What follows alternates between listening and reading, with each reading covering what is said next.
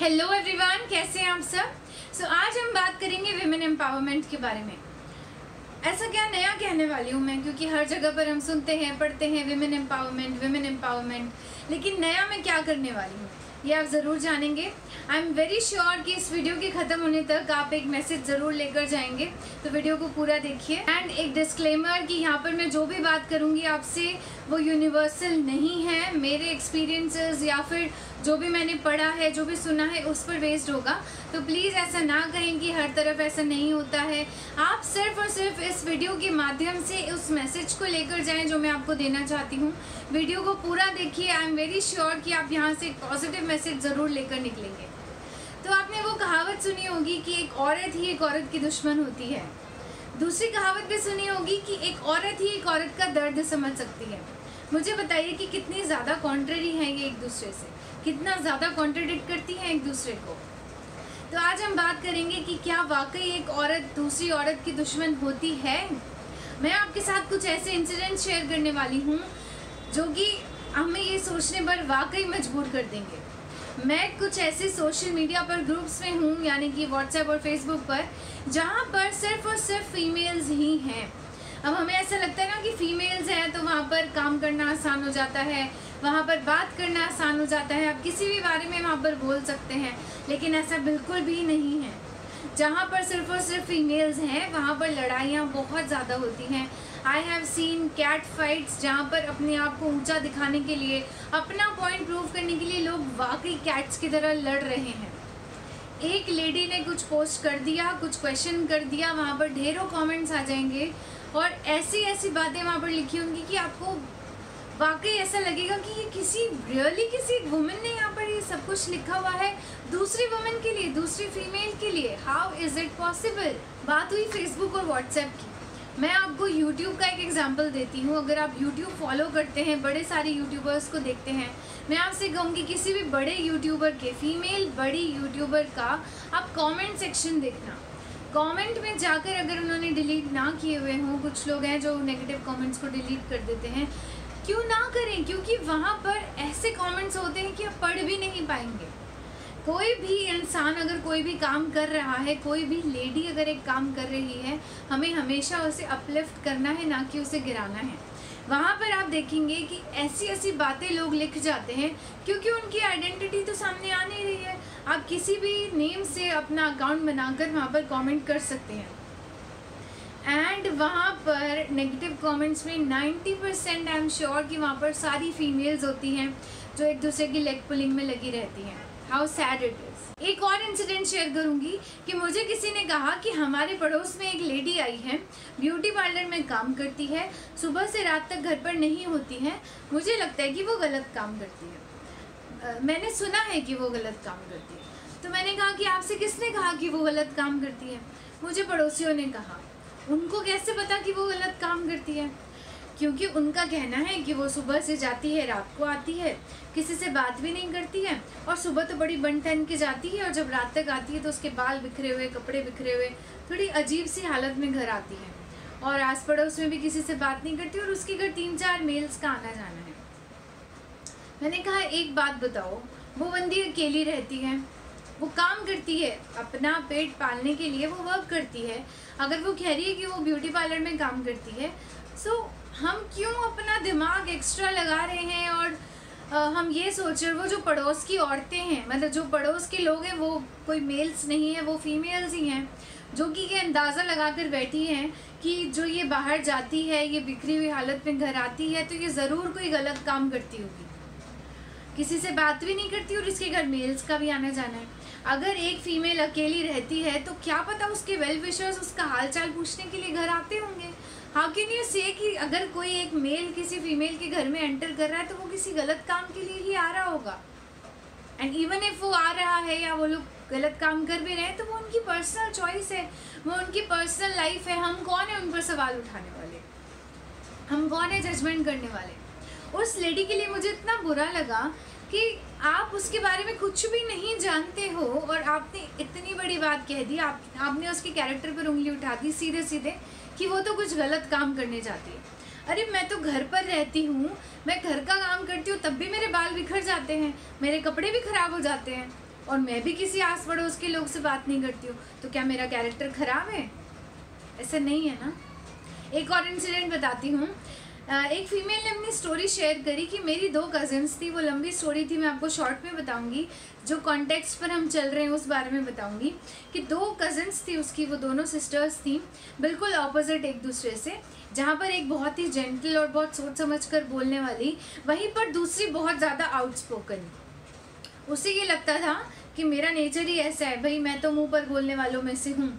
और वो जो मुँह पर बोलने वालों में से लोग होते हैं, वो मुँह पर ऐसी बातें बोल जाते हैं जो सामने वाले को बहुत ज़्यादा चुभ सकती है। लेकिन वो अपने आप को बहुत ज़्यादा अच्छा समझते हैं कि मैं तो भाई बोल देती हूँ जो मेरे मन में आता है। और अपनी अच्छी सी, चौड़ी सी चाल में वो लोग चलते हैं कि मैं, मेरे मन में जो आता है मैं बोल देती हूँ।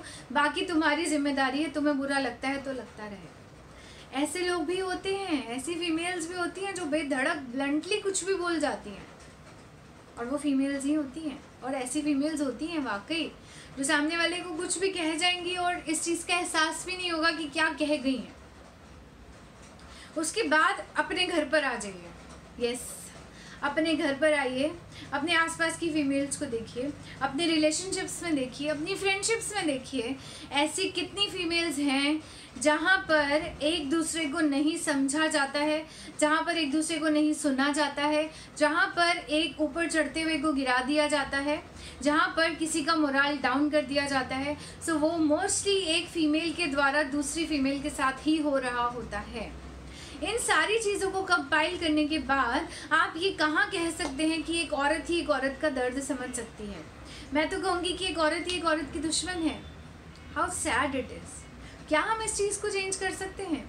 अगर हमारे देश में कुछ बहुत बड़ा हो जाता है आ, मैं नाम नहीं लूँगी कुछ भी बड़े इंसिडेंट्स हो जाते हैं किसी फीमेल के साथ किसी मेल के द्वारा हम सब एकजुट हो जाते हैं हम मार्चेस करते हैं हम अवेयरनेस फैलाते हैं हम धरना दे देते हैं कि हमें इंसाफ चाहिए हमारे लिए इस तरह के मेजर्स बनाए जाएँ।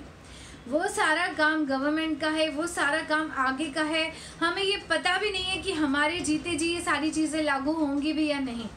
लेकिन क्या हम छोटे लेवल पर इस चीज़ को अप्लाई कर सकते हैं?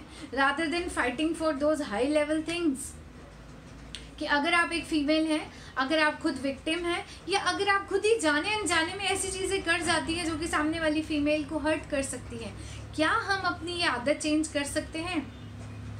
क्यों आजकल ऐसे कोट्स बनने लगे हैं कि एक फीमेल के लिए एक मेल बेस्ट फ्रेंड ही सबसे अच्छी बात है उसकी लाइफ की? क्यों ऐसा कहा जाता है? क्यों आजकल की फीमेल्स को एक मेल बेस्ट फ्रेंड का होना अपनी लाइफ में इतना ज़रूरी लगता है? क्यों? क्योंकि मेल्स जो होते हैं, वो चिल्ड आउट रहते हैं जजमेंट्स नहीं करते हैं जेलस नहीं फील करते हैं। आपको मेल परस्पेक्टिव से एडवाइस देते हैं। लेकिन अगर वही चीज़ आप किसी फीमेल से बात करोगे, वहाँ पर आपके लिए बड़े सारे जजमेंट्स आ जाएँगे। वहाँ पर आपके ऊपर बड़े सारे सवाल आ जाएँगे। वहाँ पर आपसे जेलस फील होने लग जाएँगी। तो क्या हम इस चीज़ को चेंज कर सकते हैं? अगर आप विक्टिम हैं, तब आपको अपने लिए आवाज़ उठानी पड़ेगी। प्लीज़ इस तरह की चीज़ों को बिल्कुल भी टॉलरेट ना करें। ऐसे लोगों से बातें ना करें तो बेहतर होगा। और अगर आप जाने, अनजाने में ऐसी बातें किसी से कर देते हैं, किसी के लिए ऐसा सोच लेते हैं अपने माइंड में तो प्लीज़ उसे स्टॉप कर दीजिए। हमें दूसरी वाली कहावत की तरफ़ बढ़ना है कि एक औरत, वाकई एक औरत का दर्द समझ सकती है। अगर आप अपने सामने किसी फीमेल को किसी भी सिचुएशन में देखते हैं, किसी भी सिचुएशन में, चाहे वो सही हो, चाहे वो गलत हो, क्या हम थोड़ा सा उसे अंडरस्टैंड कर सकते हैं? अगर आप कुछ नहीं कर सकते हो स्टेप बैक साथ नहीं दे सकते हो स्टेप बैक लेकिन एटलीस्ट इतना ना गिरो या इतना सामने वाले को ना गिराओ कि आपकी अपनी इंडिविजुअलिटी पर क्वेश्चंस आने लग जाएँ। इस तरह के वीडियोस और आगे ना बने कि एक औरत ही एक औरत की दुश्मन है। अगर आप ये यूट्यूब पर टाइप करेंगे तो ऐसे बहुत सारे आपको यूट्यूब वीडियोज़ जो हैं वो मिल जाएँगे। लेकिन हमें उस कहावत की तरफ़ बढ़ना है कि हाँ वाकई एक औरत दूसरी औरत का दर्द समझ सकती है। आप अपने सामने किसी को भी स्ट्रगल करते हुए देख रहे हैं। आप उनकी जिस तरह से भी हेल्प कर सकते हैं। हेल्प सिर्फ़ फाइनेंशियली नहीं होती है। आप इमोशनली भी किसी को हेल्प कर सकते हो, किसी को सपोर्ट कर सकते हो। यू नेवर नो कि जो आपके सामने इतने अच्छे से सच धज कर खड़ा होता है स्माइल दे रहा होता है, खुश होता है, बातें कर रहा होता है यू डोंट नो कि उसकी पर्सनल लाइफ में क्या चल रहा है। वो किस चीज़ से गुजर रहा है, उसका स्टेट ऑफ़ माइंड क्या है? इसीलिए ऐसी बातें प्लीज़ ना करें, जिससे कि सामने वाला बहुत ज़्यादा हर्ट हो जाए। अभी मैं सिर्फ़ और सिर्फ़ फीमेल्स की बात कर रही हूँ, क्योंकि वेमेन एम्पावरमेंट हमें नहीं पता कि इस तरह के रूल्स हमारे गवर्नमेंट कभी लागू करेगी भी या नहीं। लेकिन वेमेन एम्पावरमेंट इसे भी कहा जाता है कि हम एक दूसरे का हाथ पकड़कर एक दूसरे को ऊपर लेकर जाएँ ना कि हम एक दूसरे को नीचे गिराते हुए फिर हम अकेले ऊपर चले जाएँ। सो आई रियली होप कि इस वीडियो के थ्रू आपके लिए एक मैसेज आया होगा और आप समझ पाएँगे। आई डोंट नो मेरा सिलेक्शन ऑफ़ वर्ड्स कैसा था uh, मैं किस तरह से इस बारे में बात कर पाई आई एम नॉट श्योर लेकिन मुझे ऐसा लगता है कि हाँ आप में से कुछ लोग इस बात को ज़रूर समझ गए होंगे और आप लोग ज़रूर समझेंगे। हमेशा अपने दिमाग में एक बात याद रखिए कि एक औरत ही एक औरत का दर्द समझ सकती है। इस कहावत के साथ आगे बढ़िए, इसे हमेशा अपने दिमाग में रखिए। जजमेंट से जेलसी से और नेगेटिविटी से प्लीज़ अपने आप को दूर रखिए। अपने सामने वाली फीमेल्स को अपलिफ्ट करिए। एक दूसरे को साथ लेकर चलिए। एक दूसरे को ऊपर उठाते हुए चलिए। सो आई रियली होप आज का वीडियो आपके लिए थोड़ा सा एक मैसेज आप लेकर जा रहे होंगे यहाँ से। अगर आप कुछ भी आपको इसमें अच्छा लगा है, आप फॉलो करते हैं तो मुझे कमेंट करके बताइए। आज के लिए इतना ही। आपसे मिलूँगी नेक्स्ट वीडियो में। Bye bye